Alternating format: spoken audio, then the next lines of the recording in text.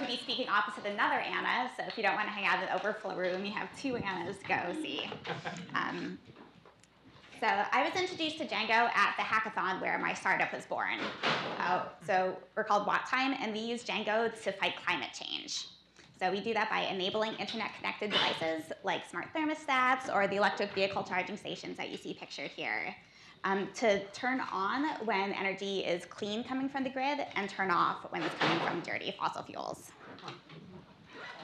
Um, another side project that I'm working on right now is the Unconscious Bias Project.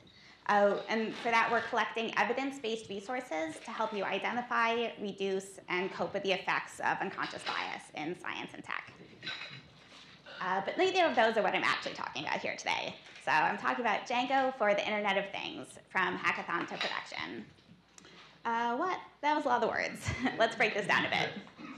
So Django, we all know and love, everyone's favorite web framework. Um, the Internet of Things. So this is when something that you don't normally think of as a computer, like a thermostat or a car, um, it can receive and transmit data um, and even respond to controls all in real time. And when some people talk about the Internet of Things, they talk about writing the embedded code that runs on the device.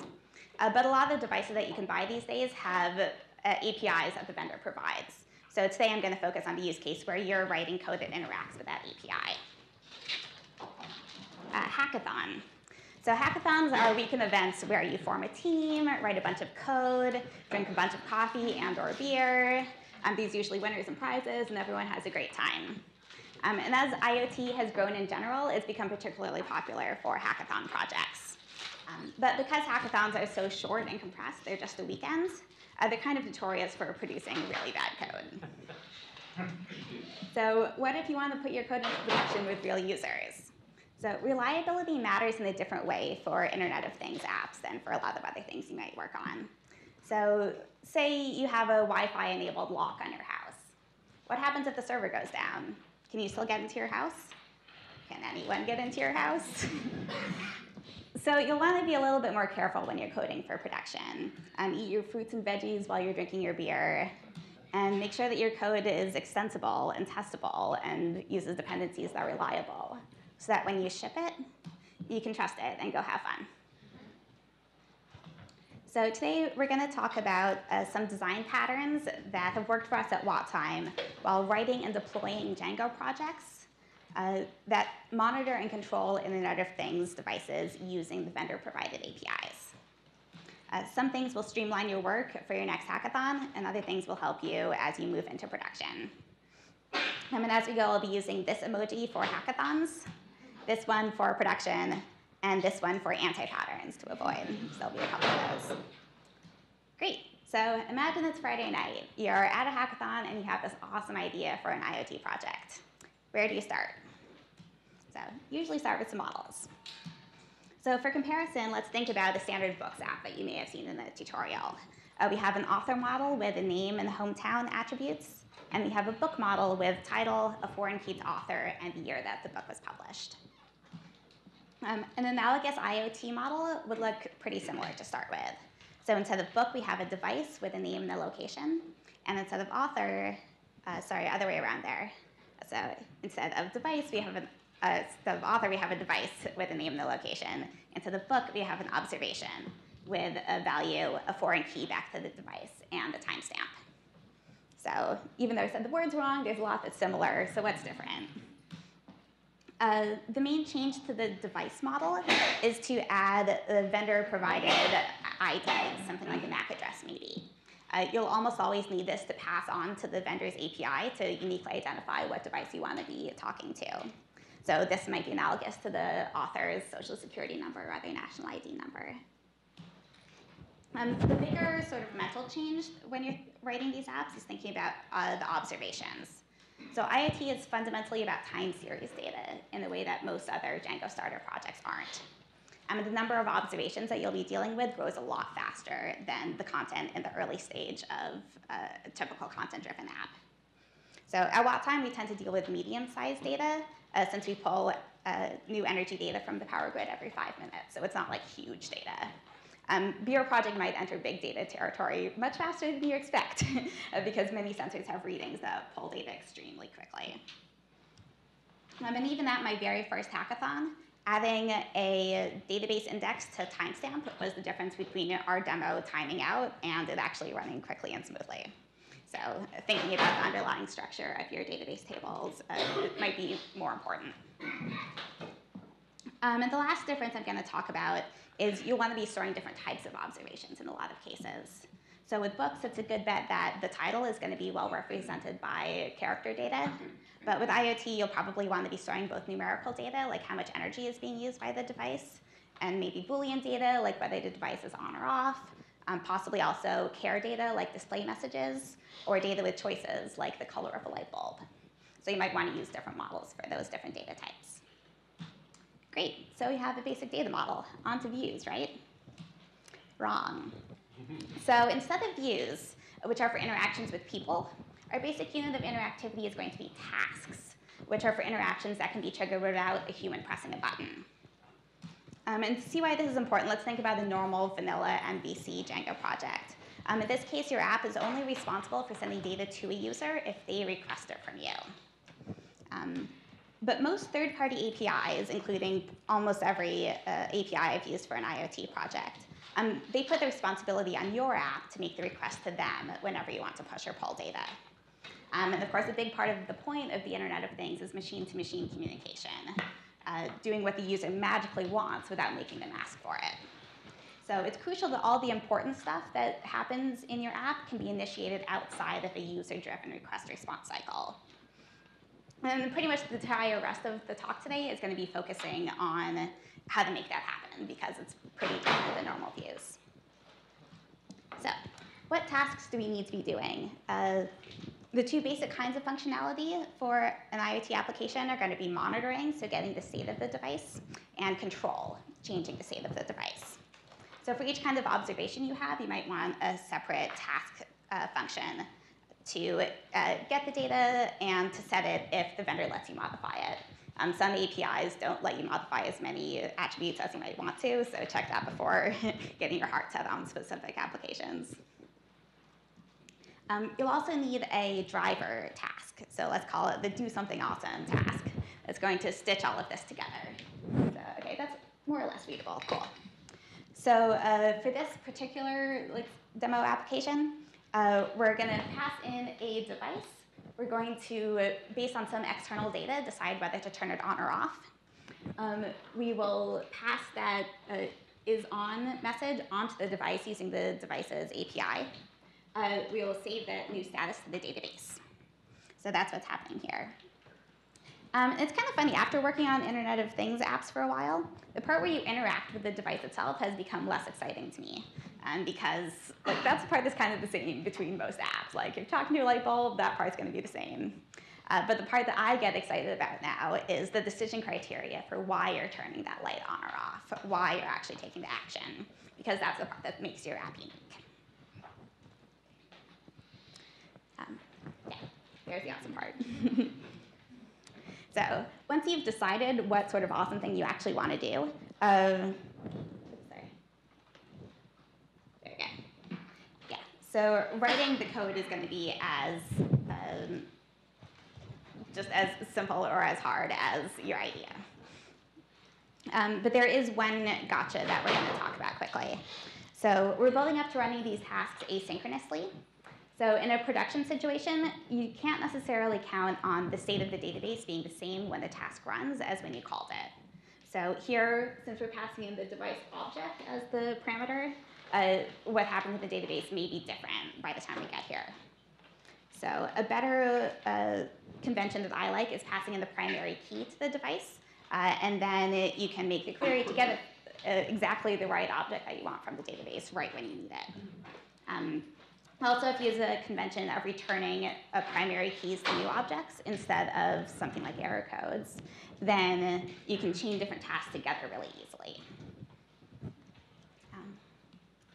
Great. So we have our models, we have our tasks. Let's put it together into apps. So in a hackathon situation, just toss it all into one app. No one really cares. Um, but if you want to organize it a little bit better, Um, I like to split up my apps this way. So devices has the device model. Observations might have attribute status, anything else. Um, interactions is where the tasks go. And I'll have the wrapper around the vendor uh, client API in its own app. So this might seem like a lot of structure for now, uh, but each app will grow over time as you start adding views for adding and removing devices so the user can manage what they have. Um, if you want to start adding fancy D3 dashboards, you can put those views in the observations app. Uh, you're probably going to want to log the interactions that you're making with a device, so that can go in the interactions app. And if you want to start having multiple kinds of devices that you're supporting, then you can swap out the vendor APIs pretty easily. Cool. So you have models, you have tasks, they're in apps. Let's deploy it. But how are we going to deploy these tasks? Running a web server isn't actually going to help us here. What we really need is something that acts like, if you're familiar with the Unix concept of cron or cron tabs, where we want something like that, but that can run in a distributed cloud environment. So we want to be able to run our tasks anytime we want, um, at frequent and deterministic uh, times, and outside of the request response cycle. So, and this is the situation, this is the part of the code where hackathon and production differ most. So I'm going to talk about two different ways to run these tasks, uh, both of which you can deploy to Heroku or a lot of other cloud environments. So let's do the hackathon way first. I'm using Heroku has an add-on called Scheduler, and we'll use that to run management commands. So you're already familiar with the Django management commands like make migrations or run server probably. Um, and you can write your own management commands too. There's boilerplate in the Django docs, and you essentially just copy that, and that's a great way to get started. Um, in this case, we'll just have a simple management command that wraps the task that we already have. Uh, and then to get it running on Heroku Scheduler, there's this free add-on uh, with a cute little web interface to set up to run your tasks. So it's pretty easy to set up, which is good. Uh, the downsides to using this, which make it only suitable for hackathon situations, is that it has very limited frequencies that it lets you run the tasks. So you can do daily, hourly, or every 10 minutes. But if you want to do every five minutes, you are out of luck. Um, and it's also, they only offer it as a best effort service. So I have noticed it skips some tasks if you let it run long enough and then are sad when you don't have that one data point. but it's awesome for hackathons. Uh, if you need to go into production and do it for real, uh, you'll want both more flexibility and more reliability than these free add-ons can give you. So as befits production, you gotta eat your veggies. So we're gonna use a package called Celery. So what is Celery? Celery is a distributed message queuing system for asynchronous stuff. So most tutorials for Celery focus on how it's really good for uh, long-running event-driven background tasks like maybe sending the user a sign-up email after they signed up for your site. Uh, something that doesn't come up as much in tutorials, but that we're going to be using it for today, is scheduling periodic tasks. So in a generic app, uh, you may want to like, run some daily analytics, like uh, Clinton was just using for uh, aggregating all those uh, data for the police calls. Uh, but here we're going to be using it for doing our cron in the cloud solution. The main reason I don't recommend Celery for hackathons is that it complicates your architecture a lot. So do a brief overview of everything that you need to have set up to run a Celery app. So we have our web servers. Uh, those can trigger the event-driven tasks. Um, we also run a scheduler server that can trigger the periodic tasks. Both of those put messages on a, a message broker transport queue. That's what Celery calls it. Um, but it's just a, first in, first out queue uh, where wherever tasks get put on, they can then get uh, consumed by worker servers that actually do the work of running uh, that task function. So maybe they'll go out and hit external APIs, maybe they'll put things in the database, they'll do whatever you need them to do. And if there's a return uh, data from that function, it will go into something called the result store. Um, there's a bunch of different options for backing services for both the queue and the result store. Redis is a popular one because it's really good for both of them. Um, uh, Rabbit AMQP, yeah, AMQP services are also good for the queue, but not for the result store. So to make it more concrete, Uh, for our IoT application, we're going to have every few minutes, our scheduler is going to put a do something awesome message into the queue. Um, our worker will pull it off. It will decide whatever we want to do, maybe turn on our uh, light bulb. It will send the API request to our vendor to say, turn on the light bulb. The vendor will return, yes, it's on now. Good job. Uh, the worker will then store that new status in the database and return the primary key to the result store. So once you've got all that architecture configured, actually changing our plain uh, Python tasks into Celery tasks is really easy. You just add this decorator. Um, and then to configure when the tasks are going to run, uh, there's this uh, dictionary syntax. Um, and the syntax for defining the periodicity itself is pretty similar to the Unix cron tab. So you can have really flexible intervals, anywhere between once a minute and once a year, um, including things like day of the week or like only at noon on Tuesdays or anything like that. Um, and after all my talk about passing primary keys around, uh, you're probably tempted to do a query here and pass the results as arguments into the task, right? Um, unfortunately, this doesn't work very well because this dictionary is only evaluated once, like anything else in your settings file, for instance. So you can only use static arguments here if that's an option for you. Um, if that's not an option, uh, one good sort of workaround is to have a wrapper task that spawns all of the daughter tasks that you need. And so your database call only happens here. Cool. So to that, we have a final uh, production-ready project. So we have the same apps as before at the bottom. Uh, the schedule file has been added to the interaction um, and then there's a bunch of other boilerplate to configure all of the Celery architecture that's in bold. So uh, there's some pretty important subtleties in that that I don't have time to get into today, but uh, the docs are good. And if you didn't memorize all that, there's also put together a cookie cutter template. Uh, github.com slash ASCHN slash cookie cutter Django IoT. So this has all the boilerplate configured for you. It has all of the data models configured for you. All you have to do is write your actual interactions with the vendor API and whatever your do something awesome is. Uh, this should make things a lot faster for you to deploy either with Celery or with the management commands. And it's all configured to run on Heroku. So hopefully this will be helpful for your next hackathon. So what have we learned? Uh, IoT is fundamentally about time series data in a way that most other Django starter projects aren't. So that will mean bigger data, and that will mean you have to think a little bit differently about which of your models are going to be big and which of them are going to be small. Um, IoT is also fundamentally about asynchronous processes instead of the standard MVC request response cycle. So think about putting the actually important stuff not in views, but in somewhere that can be accessed through tasks or something else. Uh, to run those tasks, an easy but really rigid way that's good in hackathon situations is Heroku Scheduler. Um, and the flexible, but more complex way is using Celery.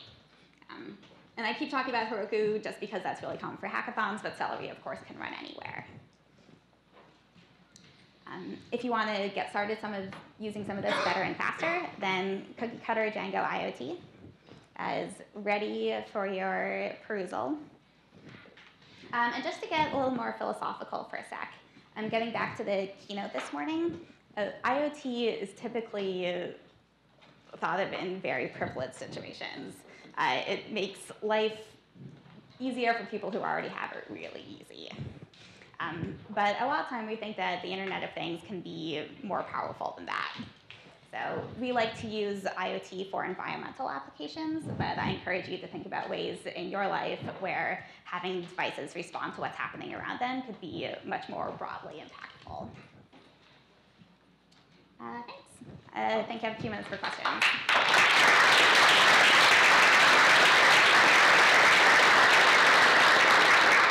Um, so uh, I kind of two. Um, the first one was with the time series data and the primary key. Were you saying make the time the primary key and why? Well, like I didn't, you kind of went over that pretty quick. I didn't understand. Sorry, um, so I haven't actually tried doing it that way. Um, I just use the standard Django primary key. Oh, okay. And then, the- and the other one was why use the celery, um, like what benefit did you find using the celery periodic tasks Mhm. over cron? So if you're running on one of these platform as a service situations, you can't access cron. Oh, well, then that, that, Yeah. Oh, I, I guess he might have answered that question. I understand that Celery has the advantage of the, of, uh, uh, queuing for asynchronous tasks. And so you have the con- uh, consumer producer model rather than an invocation. But, um, but why Heroku versus cron? Is that also, is that also because you may not have access to cron on the, on the devices? Um, I'm not sure I quite understand Well, in other words, well, just set up, just setting up a job in a cron tab and invoking, invoking a, uh, like a, a con, a uh, Django command, rather than having Heroku, uh, invoke the command. Yeah, so if you're running an environment where you have access to cron and you know that you're going to only be running on that machine, uh, then cron can do the job for you. But in some sort of m- a more distributed situation where you can't rely on having access to those, From outside. yeah. Question about running celery in production and, and how you, what you're doing, I guess, to monitor tasks and making sure that they're running and running successfully and all of that. Some of the tools are not that great. Yeah, I didn't have a lot of success with celery Flower, Flower, however you say it. Um, I wanted to like it, you couldn't get a lot out of it. Um, I actually don't use Redis for my production situations. I use uh, Cloud AMQP um, and other uh, AMQP services. Uh, and I find the, the monitoring on that is pretty good, but again, not quite as much detail as I want. So lately I've been looking into using Librato and some of those sort of logging things. Uh, one nice thing that I just found out about Librato is that you can uh, you can send alerts based on when uh, lines show up in your log file. So either based on the content or if it just like if your queue stops reporting for 10 minutes, then you can have Librato trigger an alert based on that. So I'm my intern is setting that up as we speak today. So I'm pretty excited to see how that works for us. Is there a reason, I, I don't think you use the task or periodic task generators in Celery? Is there a reason for that, or what? Sorry, what? Um, did you use the task or periodic generators? Uh, Those are really helpful. Yeah, so the the task decorator here. Yeah, there's a periodic task decorator where you can just feed it the cron tab um, object, and is there a reason not to use it? I- Um, I haven't because I don't like to have the tasks only be available periodically. Um, so if you do it this way, you can call it from multiple places uh, in different ways. What's the biggest challenge you've had to solve with doing an IoT project? Um, I guess uh, one application that we're working on right now is controlling smart thermostats. Uh, so we have uh, data coming in about whether the power grid in Chicago, uh, how much uh, carbon pollution there is in that electricity. Um, and so the API that I'm working with for that partner is a SOAP API, which has been incredibly annoying to deal with. So that like little line where it's like stat status is actually like a, a huge, really annoying uh, method there. So picking your partners carefully is important. That me of another question. I noticed early on in your slides, you, you had a, a set status and then a status set create. Mhm. Um, and I'm wondering, what's the purpose of duplicating that? In other words, I'm thinking about the ecobee thermostat where everything you do, it just queries everything again from scratch. And I wonder if, if that model av- avoids desynchronization of the state of the device versus the, the, the, our, the database's view of the state of the device, rather Yeah, getting those out of sync can be a problem. Um, for some devices, they only let you access maybe like 10 days of historical data, and so having your own record of it can be really useful too, even if that does create the additional challenge of trying to keep them up to date. It makes sense maybe to, to just depend on ask, re-asking the state if that doesn't take too long, rather than depending on the state in the database being Yeah, so if you are able to ask the device for its own historical data, that is likely to be more accurate. Um, so if that's an option, do it. Last question? Sure. Um, could you update the document to prevent multiple instances of the task from trying to mutate some device state at the same time? Um, that is something that Celery has some helper functions for um, that is complicated.